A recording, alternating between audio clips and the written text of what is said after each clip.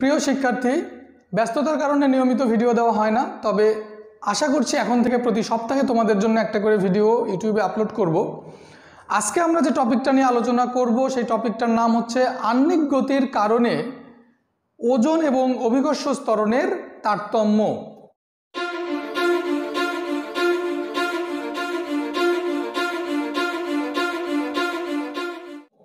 তোমরা সবাই জানো যে অভিকর্ষ স্তরণ হচ্ছে পৃথিবী বা যে কোনো গ্রহের আকর্ষণে ওই গ্রহ বা পৃথিবীর ওপর পরন্ত কোনো বস্তুর যে বেগ বৃদ্ধির হার, সেটাই হচ্ছে অভিকর্ষ স্তরণ বা মুক্তভাবে পরন্ত কোনো বস্তুর যে বেগ বৃদ্ধির হার, সেটাই হচ্ছে অভিকর্ষ স্তরণ তো এই ত্বরণটা অভিকর্ষ বলের কারণে সৃষ্টি হয় এই জন্য এটাকে আমরা অভিকর্ষ স্তরণ বলি।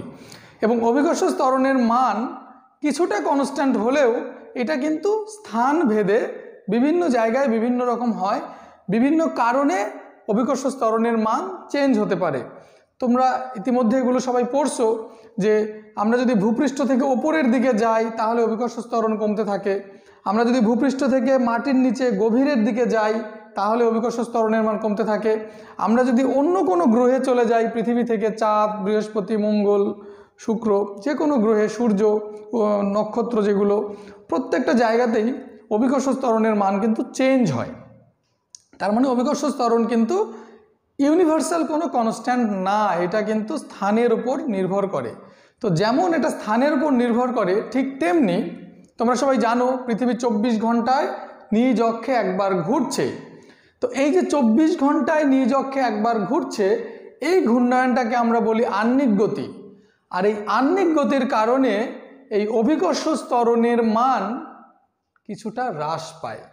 এখন আমরা যেহেতু জানি যে কোনো কিছুর কোনো কিছুর ওজন হচ্ছে ডাব্লু সমান এম জি তাহলে আহ্নিক গতির কারণে এই অভিকর্ষ স্তরণ জি এর মান যদি হ্রাস পায়, তাহলে ওই বস্তুর ওজন ডাব্লুও কিন্তু হ্রাস পাবে।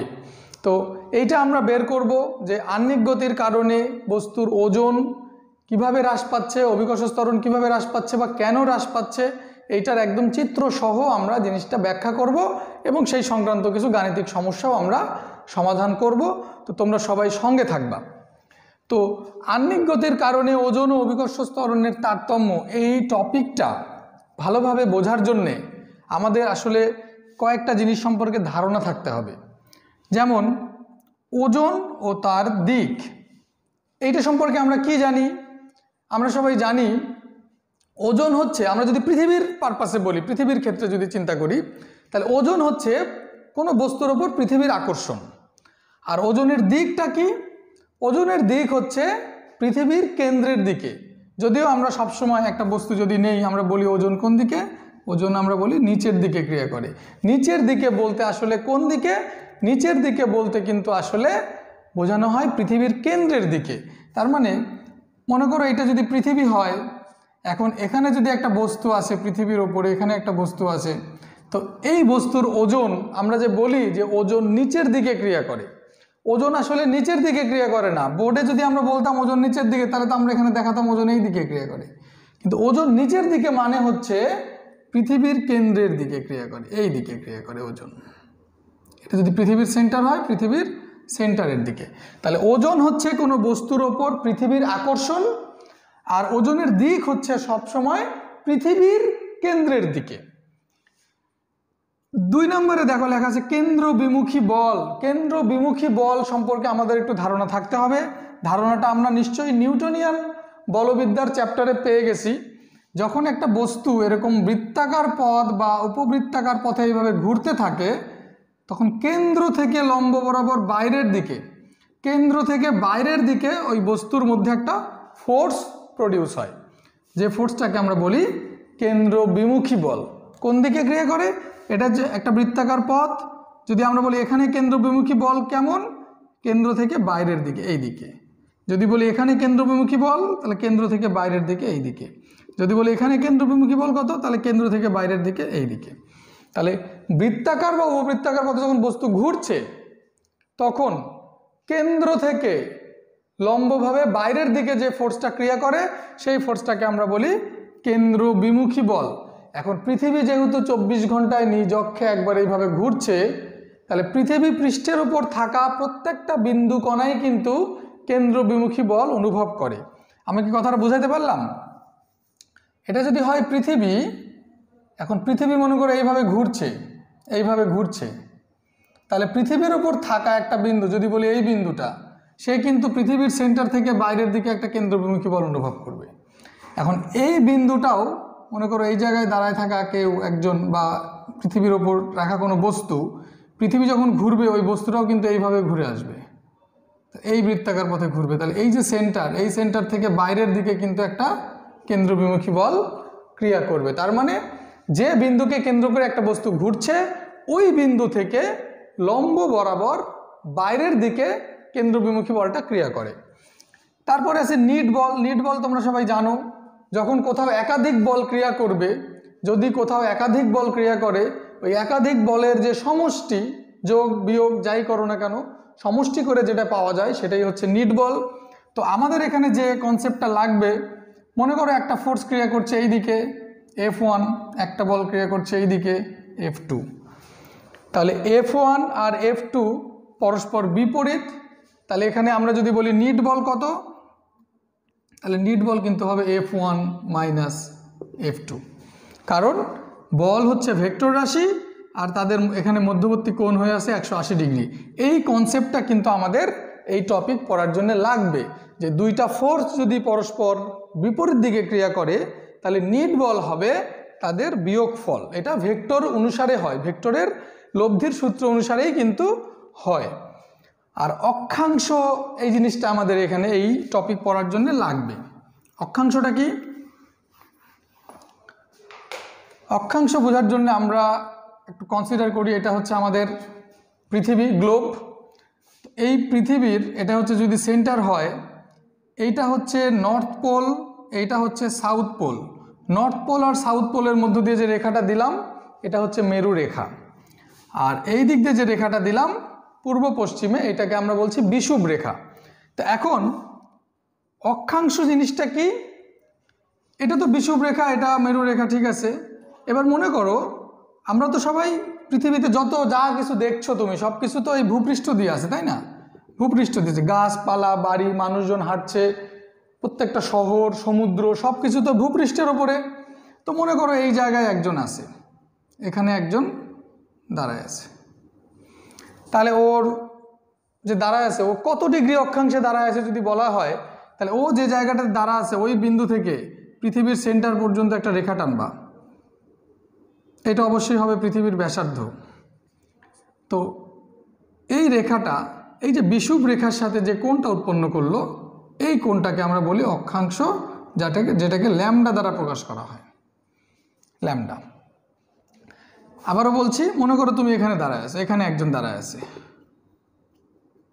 তাহলে এই বিন্দু থেকে পৃথিবীর কেন্দ্র পর্যন্ত রেখা টেনে দাও, তারপর এই যে রেখাটা পাচ্ছ, এটা হচ্ছে তোমার অক্ষাংশ। বোঝা গেছে? তাহলে মনে করো যে এই জায়গায় একটা গাছ আছে। তাহলে গাছটা কত ডিগ্রি অক্ষাংশে আছে? গাছটা আছে গাছের গোড়ালি থেকে তুমি পৃথিবীর সেন্টার পর্যন্ত একটা রেখা টানো। তারপরে এই দাগটা যে কোনটা উৎপন্ন করল, এইটা, এই কোনটার নাম হবে অক্ষাংশ। তার মানে যে যেখানে পৃথিবীর দাঁড়ায় আছে, সেই বিন্দু থেকে যদি পৃথিবীর সেন্টার পর্যন্ত একটা রেখা টেনে দেওয়া হয়, তাহলে এই রেখাটা বিষুব রেখার সাথে যে কোণ উৎপন্ন করবে, সেই কোণটাকে আমরা বলব অক্ষাংশ। ওকে তাহলে এই চারটা ছোট ছোট টার্ম সম্পর্কে আমরা একটু আইডিয়া নিলাম। এইবার আমরা চলে যাব আমাদের মূল টপিকে আমরা দেখব পৃথিবী যে ঘুরছে এইটার কারণে কীভাবে ওজনটা হ্রাস পাচ্ছে, কীভাবে অভিকর্ষ স্তরণটা হ্রাস পাচ্ছে, এইটা থাকলে কি হতো, এইটা আহ্নিক গতি থাকলে কি হচ্ছে, না থাকলে কি হতো আহ্নিক গতির চেয়ে বেশি হলে কি হতো, সবই আমরা আস্তে আস্তে আলোচনা করব, তোমরা সবাই সঙ্গে থাকো। তো এইবার দেখো আহ্নিক গতির কারণে আসলে কীভাবে ওজন বা অভিকর্ষ স্তরণটা হ্রাস পাচ্ছে, সেটা আমরা আগে একটু চিত্রের সাহায্যে ব্যাখ্যা করি, তারপরে আমরা চিত্র থেকে ম্যাথমেটিক্যাল টার্মে চলে যাব, ঠিক আছে? তো প্রথমেই তুমি চিন্তা করো, চিত্রটা আমি একটু বড় করে আঁকছি যেন আমাদের অনেক কিছু লিখতে হবে চিত্রের মধ্যে, ওটা যেন বুঝতে সুবিধা হয়। মনে করো এটা হচ্ছে পৃথিবী। এটা পৃথিবীর সেন্টার তাহলে এটা হচ্ছে আমাদের বিষুব রেখা এইটা হচ্ছে আমাদের মেরু রেখা ওকে তো আমরা ধরে নিচ্ছি এই বিন্দুটা আছে, এই যে বিন্দুটা দেখছ, এই বিন্দুতে আমরা হিসাব করব। এই বিন্দুতে একটা মানুষের ওজন কতটুকু হ্রাস পাবে আহ্নিক গতির কারণে। তো নর্মালি তুমি চিন্তা করো যে পৃথিবী ঘুরছে না, পৃথিবীর আহ্নিক গতি বলে কিছু নাই, পৃথিবীর আহ্নিক গতি বলে কিছু নাই, বার্ষিক গতি আছে মনে করো, কিন্তু আহ্নিক গতি বলে কিছু নাই। মানে চব্বিশ ঘন্টায় যে দিন রাত হয়, সূর্যোদয় সূর্যাস্ত হয়, এই ব্যাপারটা নাই। শুধু পৃথিবীর এখানে একজন দাঁড়ায় আছে, একটা বস্তু আছে। এই বস্তুটার ভর হচ্ছে এম তো এই এম ভরের বস্তুটা যদি এখানে দাঁড়ায় থাকে, তাহলে বলো তো এই বস্তুটা কত ডিগ্রি অক্ষাংশে আছে? এই বস্তুটা আছে, আমি যদি এখান থেকে একটা রেখা টানি, এটা হচ্ছে পৃথিবীর ব্যাসার্ধ আর এইটা হবে আমাদের অক্ষাংশ ল্যামডা। ওকে? এখন এই যে বস্তুটা দেখছে, এই বস্তুর ওজন কোন দিক ক্রিয়া করবে? পৃথিবীর আকর্ষণে ওজন ক্রিয়া করে পৃথিবীর কেন্দ্রের দিকে। তাহলে এর ওজন ক্রিয়া করবে এই দিকে। এর ওজন ক্রিয়া করবে পৃথিবীর কেন্দ্রের দিকে। এইবার তুমি চিন্তা করো যে, না, পৃথিবীর আহ্নিক গতি আছে। পৃথিবী তো অবশ্যই আহ্নিক গতি আছে। পৃথিবী চব্বিশ ঘণ্টা একবার ঘুরছে। তাহলে পৃথিবীটা যদি এখন এইভাবে ঘুরতে থাকে, এইভাবে ঘুরতে থাকে তার মানে এই বিন্দুটা ঘুরে এখানে আসছে, এই বিন্দু ঘুরে ওখানে যাচ্ছে। তাহলে এই বিন্দু ঘুরে এখানে আসবে, এই বিন্দুটা আবার ঘুরে ওখানেই যাবে। তার মানে পৃথিবী যখন একবার ঘুরে আসবে, তখন এই বিন্দুটা কিন্তু এরকম একটা ওয়ে দিয়ে ঘুরে আসবে। তাই না? এরকম একটা বৃত্তাকার পথ দিয়ে কিন্তু ঘুরে আসবে। তাহলে হ্যাঁ এখানে যদি একটা বস্তু থাকতো, তাহলে ও এইভাবে ঘুরে আসতো, সেক্ষেত্রে ওর ঘূর্ণায়ন পথের ব্যাসার্ধ হতো এই আর কিন্তু এই বস্তুটা যেহেতু এই ঘূর্ণায়ন পথ দিয়ে ঘুরে আসলো, তাহলে এর ক্ষেত্রে যে, এই যে বৃত্তাকার পথটা, এই বৃত্তাকার পথের ব্যাসার্ধটা কত? আমরা বলব যে এই বস্তুটা স্মল আর ব্যাসার্ধের বৃত্তাকার পথ দিয়ে ঘুরে আসলো। এরকম কিন্তু দেখো পৃথিবীর ভূপৃষ্ঠে থাকা সব বস্তুই যে পৃথিবীর ব্যাসার্ধের সমান বৃত্তাকার পথে ঘুরছে তা না। আবার যদি এখানে একটা বস্তু থাকতো, পৃথিবী যদি একবার ঘুরতো, ও কিন্তু এরকম একটা বৃত্তাকার পথ দিয়ে ঘুরে আসতো। এখানে যে থাকবে, সে কিন্তু এরকম একটা বৃত্তাকার পথ দিয়ে ঘুরে আসবে। এখানে যে থাকবে, সে কিন্তু এরকম একটা বৃত্তাকার পথ দিয়ে ঘুরে আসবে। তো সেই রকম এই বস্তুটা এরকম একটা বৃত্তাকার পথ দিয়ে ঘুরে আসলো। এখন একবার চিন্তা করো তো, এই বস্তুটা যদি এইভাবে এখানে ঘুর পৃথিবীও ঘুরছে চব্বিশ ঘণ্টা একবার, এই বস্তুটাও ঘুরছে এইভাবে এখানে। তাহলে বৃত্তাকার পথে যদি ঘুরতে থাকে, তাহলে এই যে বস্তুর এখানে কেন্দ্র বিমুখী বল সৃষ্টি হবে বৃত্তাকার পথে ঘোরার জন্য। পৃথিবী ঘুরছে, এই বস্তুটাও ঘুরছে। তাহলে এই বস্তুর কেন্দ্র বিমুখী বল ক্রিয়া করবে এই কেন্দ্র থেকে লম্বভাবে বাইরের দিকে। এই কেন্দ্র বিমুখী বলকে আমরা বলব এফ সি এখন এই দাগটাকে যদি আমরা একটু বর্ধিত করি, তাহলে চিন্তা করে দেখো, এইটা যদি ল্যামডা কোণ হয়, তাহলে এই কোণটা কত? এই কোণটা কিন্তু ল্যামডা। আর কারণ একান্তর কোণ। আর এই কোণ যদি ল্যামডা হয়, তাহলে এই কোণটা আমার কত? এই কোণটাও কিন্তু ল্যামডা কোণ। কারণ এই কোণ আর এই কোণটা হচ্ছে বিপ্রতীপ কোণ। ওকে, এখন দেখো, এইটাকে যদি আমি এখন একটা অক্ষ বলি, এই দাগটাকে যদি আমি একটা অক্ষ বলি, তাহলে এই অক্ষের সাথে এফ সি কত ডিগ্রি কোণ করে আছে? ল্যামডা কোণে আছে। তাহলে এই বরাবর এফ সির উপাংশটা কত হবে? এফ সির উপাংশ হবে এফ সি কজ ল্যামডা। এই এফ সি কজ ল্যামডাটা ক্রিয়া করছে এই দিকে। কারণ তোমরা সবাই জানো যে কোনো একটা ভেক্টর যদি এক্স অক্ষের সাথে থিটা কোণে থাকে, মনে করে এটা এফসি এক্স অক্ষের সাথে থিটা কোণে থাকে, যে অক্ষের সাথে থিটা কোণ করে থাকবে, সেই অক্ষ বরাবর উপাংশ হবে এফসি কজ ল্যামডা তাহলে এই বরাবর ক্রিয়া করছে এফসি কজ ল্যামডা তাহলে এখন দেখো, এখানে যে বস্তুটা ছিল, এই বস্তুর ওজন ক্রিয়া করছে নিচের দিকে, আর এফসি কজ ল্যামডা ক্রিয়া করছে এই দিকে তাহলে এই বস্তুর ওপর নিট বল কত হবে বলো তো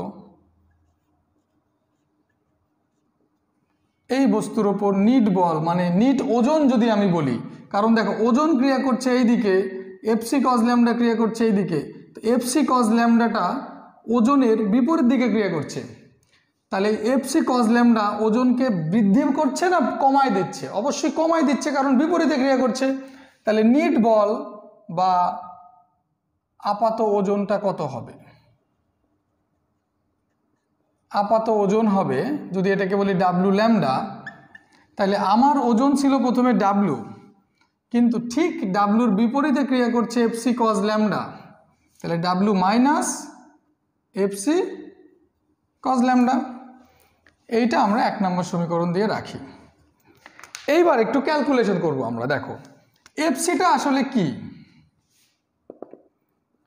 এফসি হচ্ছে, আমরা সবাই জানি, কেন্দ্রবিমুখী বলের equation M omega square R কোন আর এই আরটা কারণ বস্তুটা এই বৃত্তাকার পথে ঘুরছিল। আর এটা দুই নম্বর সমীকরণ দেই। আর একটা জিনিস খেয়াল করো, এই আর এর মান কিন্তু আমরা জানি না।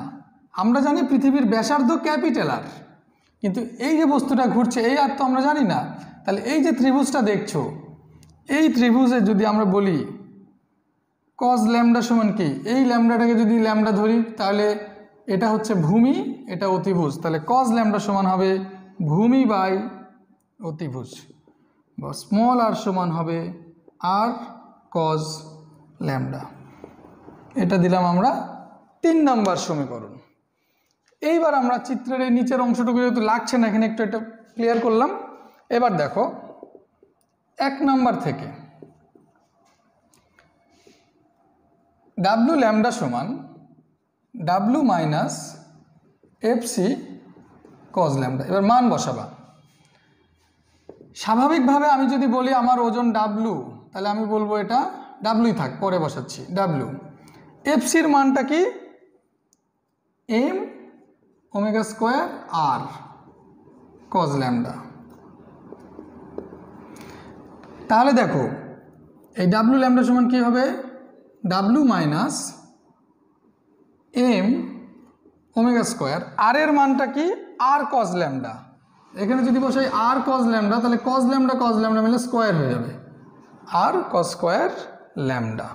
তাহলে এইটা হচ্ছে আমার সমীকরণ। এখানে একটা জিনিস খেয়াল করো, এই যে ডাব্লু এটা হচ্ছে তোমার স্বাভাবিক ওজন। যদি পৃথিবী না ঘুরতো, তাহলে তোমার ওজন হতো এই ডাব্লু কিন্তু পৃথিবী ঘোরার কারণে এতটুকু মাইনাস হয়ে তোমার ওজন থাকল কত? এটা থাকল। বোঝা গেছে? তো তাহলে আমি যদি বলি, আহ্নিক গতি থাকা অবস্থায় তোমার ওজন কোনটা? তাহলে এটা ডাব্লু ল্যামডা আর তোমার প্রকৃত ওজন আসলে কত? প্রকৃত ওজন কিন্তু ডাব্লু আর আহ্নিক গতি থাকার কারণে হ্রাস পাচ্ছে ওজন কতটুকু? এই যে, এই, এটা। তাহলে এই সমীকরণটা খুব ভালোভাবে তোমাকে দেখতে হবে। এরপর আমরা ওই সমীকরণটা যদি একটু লিখি আবার, আমরা অভিকর্ষ স্তরণের যদি যাই এম ওমেগা স্কোয়ার আর এটা ওজনের তারতম্য হলো। এবার দেখো ডাব্লু আমাদের প্রকৃত ওজন, তাহলে এম জি এই জি হচ্ছে প্রকৃত অভিকর্ষ স্তরণ M omega square R cos square lambda এইটাকে আমরা বলতে পারি এম জি ল্যামডা। এখান থেকে এম, এই M M M M common নিয়ে দুই পাশ থেকে এম কেটে যাবে। জি ল্যামডার সমান হবে G minus omega square R cos square lambda. এই ল্যামডাটা কি? অক্ষাংশ। যত ডিগ্রি অক্ষাংশ বলবে এই কোণ, যদি বলে সত্তর ডিগ্রি অক্ষাংশ, তাহলে ল্যামডার মান সত্তর বসাবা। যদি বলা হয় পঁয়তাল্লিশ ডিগ্রি অক্ষাংশ, তাহলে ল্যামডার মান পঁয়তাল্লিশ ডিগ্রি বসাবা। যদি বলে বিষুব অঞ্চল মানে এই জায়গায় তার মানে এই বস্তুটা যদি এই জায়গায় থাকে, তাহলে ল্যামডার মান জিরো হয়ে যাচ্ছে। তার মানে বিষুব অঞ্চলে এই ল্যামডার মান বসবে জিরো ডিগ্রি যদি বলে মেরুতে, একদম এখানে, বস্তুটা যদি এখানে থাকে, তাহলে এই ল্যামডার মান হয়ে যাবে নাইনটি ডিগ্রি তখন এই ল্যামডার মান তুমি নাইনটি ডিগ্রি বসাবা। তার মানে আমরা যদি বলি যে বিষুবীয় অঞ্চলে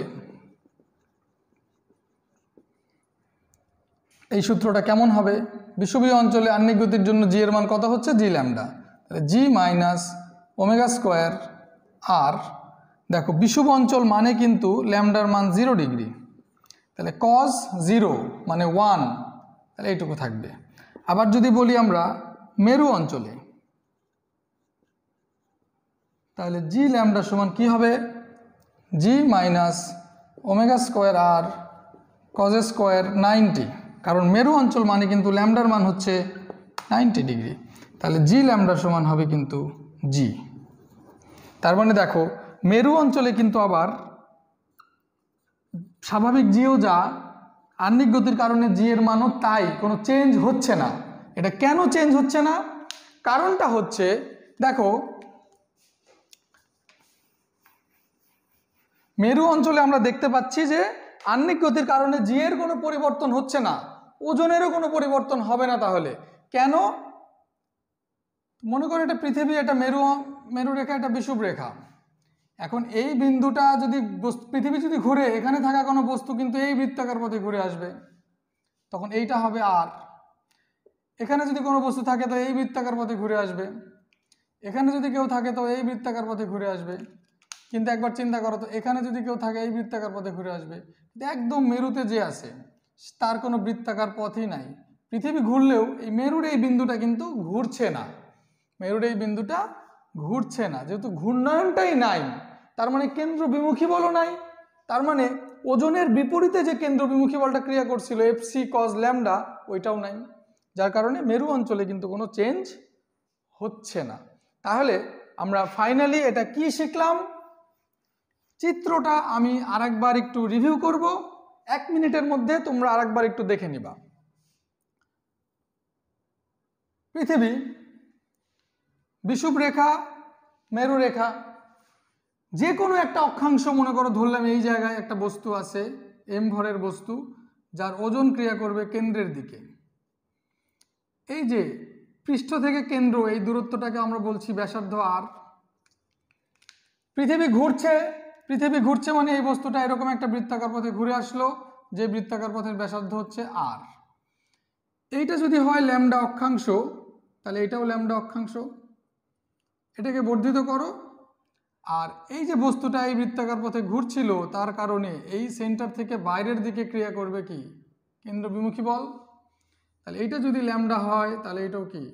ল্যামডা তাহলে এই বরাবর এফসি রূপাংশ কত হচ্ছে? এর সাথে যেহেতু ল্যামডা কোন করে আছে তাহলে এই বরাবর হচ্ছে এফসি কজ ল্যামডা এখন এই বস্তুতে, এই বস্তুর ওজন ক্রিয়া করছে নিচের দিকে। ওজন ক্রিয়া করছে এটা নিচের দিকে। আর এফসি কজ ল্যামডা ক্রিয়া করছে ওপরের দিকে, তাহলে নিট এটা এর থেকে মাইনাস হয়ে যেটা থাকবে, সেটাই হবে আমাদের এখন ওজন।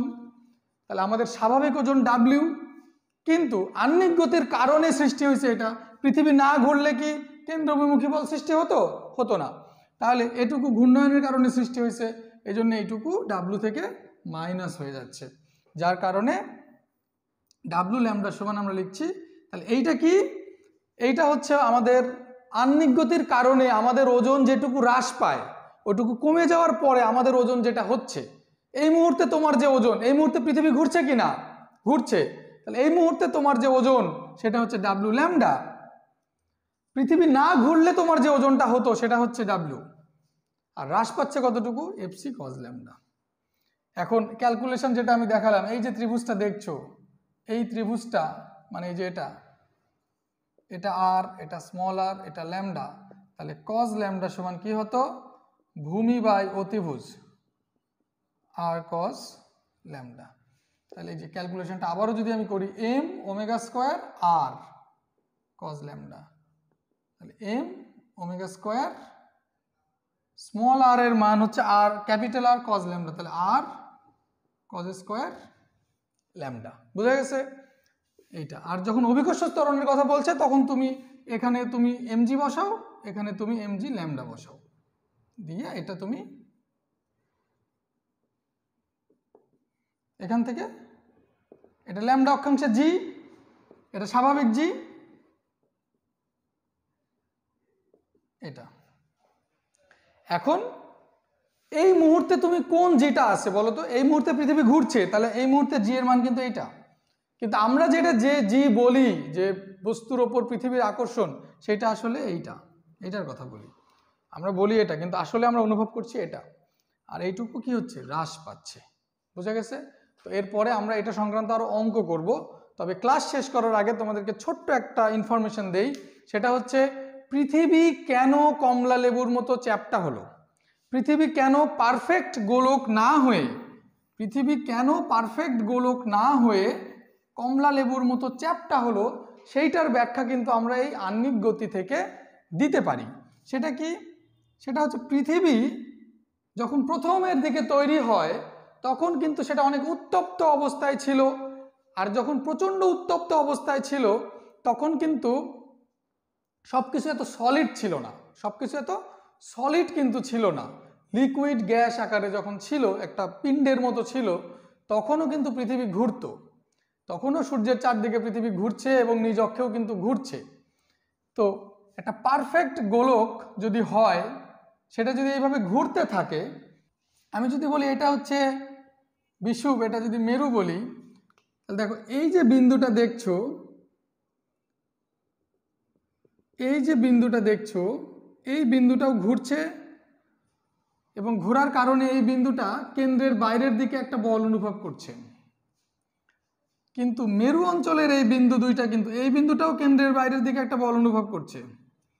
কিন্তু মেরু অঞ্চলের যে দুই বিন্দু, এরা তো ঘুরছেই না। এরা তো আমি তো দেখলাম, এরা ঘুরছে না। এদের দেখো ঘূর্ণয়ন, এই বিন্দু, একদম একটা বিন্দু যেটা, ওই বিন্দু তো ঘুরছে না। তাহলে বিষুব অঞ্চলের বিন্দুগুলো সর্বোচ্চ পরিমাণ, দেখো এটা এখানে ব্যাসার্ধ সবচেয়ে বেশি। সর্বোচ্চ পরিমাণ কেন্দ্রবিমুখী বল অনুভব করে তারা কিন্তু এই কেন্দ্রবিমুখী বলের টানানো কিন্তু বাইরের দিকে চলে গেছে। আর এই দুই বিন্দু কিন্তু বাইরের দিকে, কেন্দ্র থেকে বাইরের দিকে কোনো বল অনুভব করেনি। এই জন্য এই দুটো বিন্দু যেভাবে ছিল সেভাবেই আছে। কিন্তু এই দুই দিক কেন্দ্রবিমুখী বলের কারণে দুই দিকে চাপ সৃষ্টি করায়, এটা তখন একটু চ্যাপ্টা হয়ে গেছে। তাহলে এখন আর পৃথিবী ধীরে ধীরে আরও চ্যাপ্টা হচ্ছে না কেন? কারণ এখন এটা ঠান্ডা হয়ে সলিড হয়ে গেছে।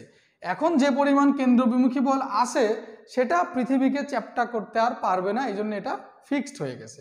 তাহলে এইভাবে ধীরে ধীরে কিন্তু এই জিনিসটা দুই বিষুব অঞ্চলের দিকে চ্যাপ্টা হয়ে এইদিকে যা ছিল তাই এইদিকে একটু বাইরের দিকে চলে যায়, জিনিসটা চ্যাপ্টার মতো হয়ে গেছে।